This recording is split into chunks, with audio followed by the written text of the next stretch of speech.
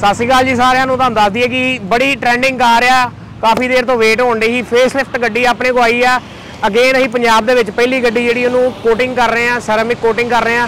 ਤੇ ਤੁਹਾਨੂੰ ਦਿਖਾਣੇ ਹੁਣ ਆਪਣੇ ਕੋਲ ਗੱਡੀ ਕਿਹੜੀ ਆਈ ਹੈ ਕਿ ਜਿਹੜੀ ਫੇਸ ਲਿਫਟ ਕੀਤੀ ਗਈ ਆ। ਹਿੰਡਾਏ ਦੀ ਨਿਊ ਵਰਨਾ, ਕਰੋ ਇਹਦੀ ਲੁੱਕ ਚੈੱਕ ਕਰਨਗੇ ਅਸੀਂ ਇਹਨੂੰ ਸੈਰਾਮਿਕ ਕੋਟਿੰਗ ਤੇ ਤੁਸੀਂ ਦੇਖ ਸਕਦੇ ਹੋ। ਡਰਾਈਵਰ ਅੰਦਰ ਬਹਿ ਗਿਆ ਗੱਡੀ ਦੇ ਵਿੱਚ। ਜਰਾ ਜ਼ੂਮ ਕਰਕੇ ਡਰਾਈਵਰ ਦਿਖਾਓ ਆ ਗੱਡੀ ਦੀ ਪੂਰੀ ਤਿਆਰੀ ਹੋ ਰਹੀ ਆ। ਲੁੱਕ ਗੱਡੀ ਦੀ ਕਾਫੀ ਵਧੀਆ ਬਣਾਈ ਆ। ਨਿਊ ਬ੍ਰਾਂਡ ਨਿਊ ਵਰਨਾ ਵਾ।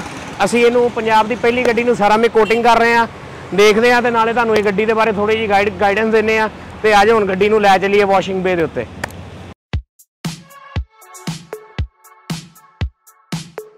ਕੀ ਹੰਡਾਈ ਜਿਹੜੀ ਵਰਨਾ ਆਪਣੇ ਕੋ ਅੰਦਰ ਆ ਗਈ ਆ। ਆ ਡਾਕਟਰ ਸਾਹਿਬ ਚੈੱਕ ਕਰ ਰਹੇ ਨੇ ਕਿ ਇਹਦਾ ਇੰਟੀਰੀਅਰ ਕਿਸ ਤਰ੍ਹਾਂ ਦਾ। ਡਾਕਟਰ ਸਾਹਿਬ, ਦੱਸੋ। ਦੱਸੋ ਐਂਬੀਐਂਟ ਲਾਈਟ ਇਹਦੇ ਚ ਸੋਹਣੀ ਆਈ ਹੈ। ਐਂਬੀਐਂਟ ਲਾਈਟ ਵਧੀਆ ਹੈਗੀ ਆ ਦੇਖੋ ਤੁਸੀਂ ਲਾਲ ਇਹ ਡਾਕਟਰ ਸਾਹਿਬ ਸਿਸਟਮ ਆਪਣੇ ਲਈ ਹੈ ਕਾਲਾ ਪੀਲਾ ਨੀਲਾ ਜਿਸ ਤਰ੍ਹਾਂ ਮਰਜ਼ੀ ਕਰੀ ਜਾਓ ਇਹਨੂੰ? ਉਤਰਾ ਹੀ ਹੈ ਨਾ? ਇਹ ਸਟੀਅਰਿੰਗ ਉਲਟਾ ਲੱਗ ਗਿਆ। ਟਰਾਈ ਕੀਤੀ ਇਹਨਾਂ ਨੇ। ਆਹੋ ਆ ਵੇਖੋ ਬਾਕੀ ਆ ਦਰਵਾਜ਼ੇ ਦੀ ਲੁੱਕ ਚੈੱਕ ਕਰੋ ਤੁਸੀਂ। ਇਹ ਕੀ ਆ? ਪਲਾਸਟਿਕ ਮਤਲਬ ਸ਼ੇਪ ਕਿਸ ਤਰ੍ਹਾਂ ਦੇ ਦਿੱਤੀ ਦਰ- ਦਰਵਾਜ਼ੇ ਦੇ ਵਿੱਚ? ਟੈਕਸਚਰ ਦੇਤਾ ਦਰਵਾਜ਼ੇ ਨੂੰ। ਐ ਵਧੀਆ ਓਕੇ ਰਿਪੋਰਟ ਕਰਤਾ ਦਰਵਾਜ਼ਾ।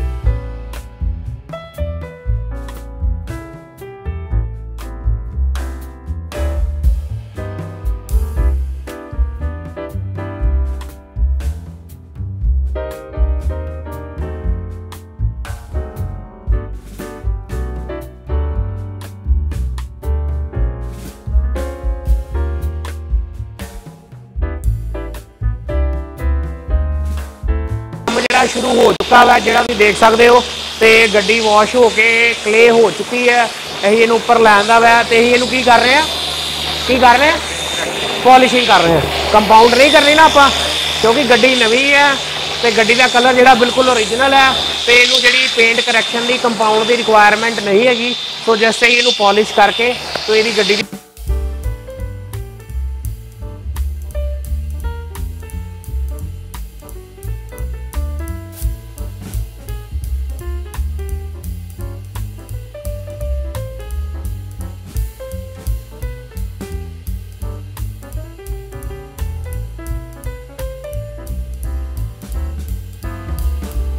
ਆ ਮੇਰੇ ਹਿਸਾਬ ਨਾਲ ਕਿਹੜੀ ਫਿਨਿਸ਼ ਹੈਗੀ ਦੱਸ ਵੀ ਸਿਲਵਰ ਫਿਨਿਸ਼ ਹੈ ਨਾ, ਅੱਗੇ ਹੋ ਜਾ, ਡਰਦਾ ਕਿਉਂ ਆ ਕੈਮਰੇ ਤੋਂ? ਇਹ ਕ੍ਰੋਮ ਨਹੀਂ ਗਾ ਸਿਲਵਰ ਹੈਗੀ ਆ।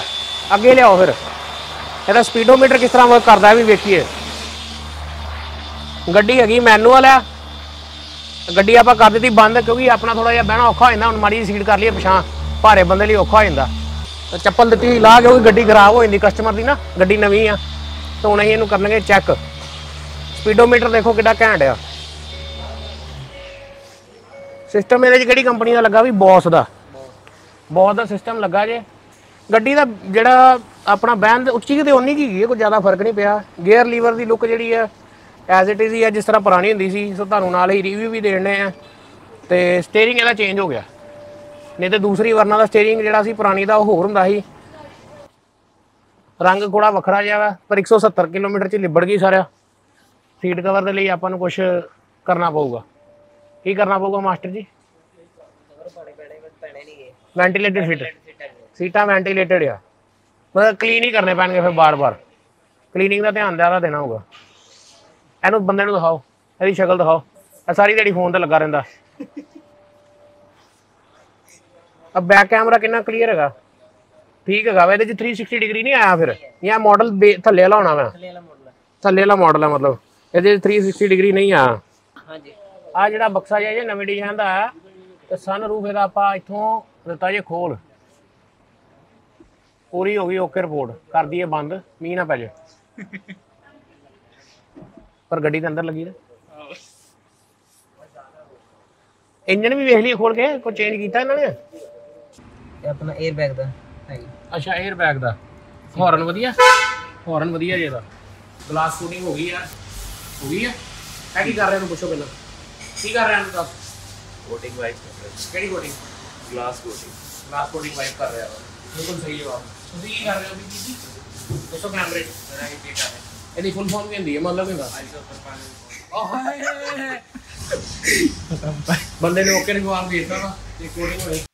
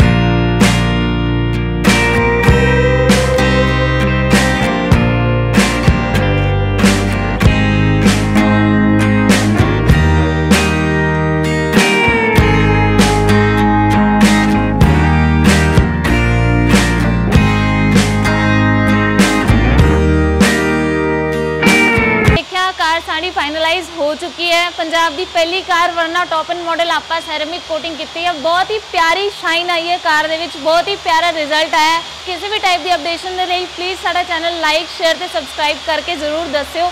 ਤੁਹਾਨੂੰ ਵਲੌਗ ਕਿਹੋ ਜਿਹਾ ਲੱਗਿਆ, ਤੁਹਾਨੂੰ ਅਪਡੇਟ ਕਰਦੇ ਰਵਾਂਗੇ। ਧੰਨਵਾਦ ਜੀ।